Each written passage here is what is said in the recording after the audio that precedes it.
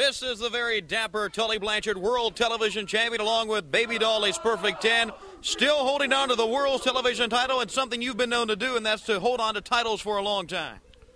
Well, you know, Tony Schiavone, you got to be born to be a champion. You know, you can just get in the ring, but you got to have it in your blood to be able to hold on to it.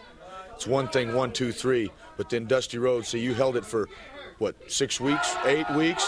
And then Dusty Rhodes is no longer the champion. I have it, the World's Television Championship.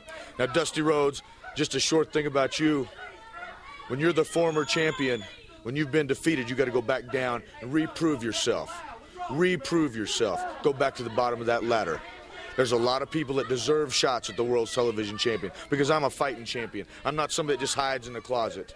You know, there's raging bullies in the ring that people are going to get to see him right now. He's a great, great man, a great contender. Ronnie Garvin, the national heavyweight champion. You just saw him, how tough he is. Magnum TA, the U.S. heavyweight champion. And the list goes on and on. Maybe even Dick Slater. You know, there's a lot of tough people that deserve shots at this. So, Dusty Rhodes, don't come out here on television, on national television, on the Superstation, and talk like you're the only one in the world that can wrestle me.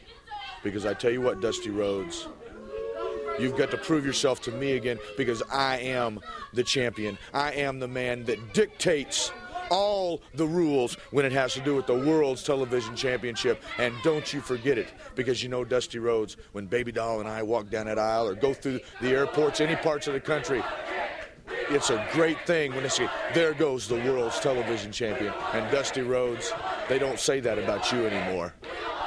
He is the world television champion, Tully Blanchard, along with Baby Doll.